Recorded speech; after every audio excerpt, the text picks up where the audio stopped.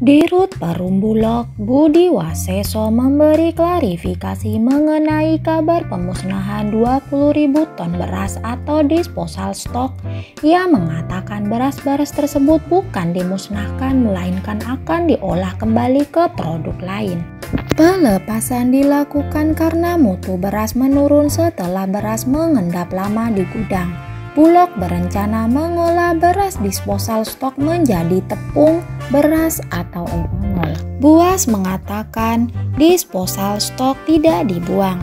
Penurunan mutu sudah dicek melalui laboratorium BP POM dan kemudian direkomendasi Menteri Pertanian. Namun sebagai konsekuensi harga produk olahan tersebut akan lebih rendah dari harga eceran tertinggi beras selisih harga tersebut akan dibayar pemerintah. Buas mengatakan pelepasan beras sudah diatur dalam Peraturan Menteri Pertanian 38 2018 tentang pengelolaan cadangan beras pemerintah.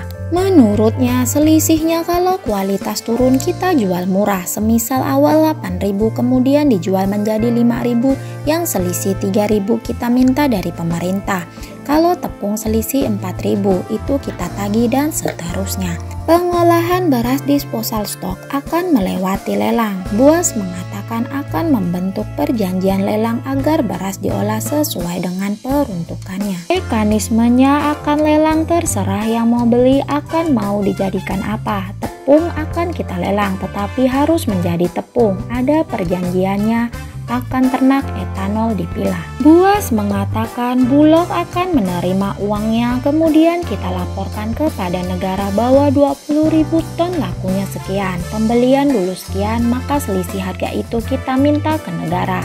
Seperti itu sebenarnya, jadi tidak ada dibuat.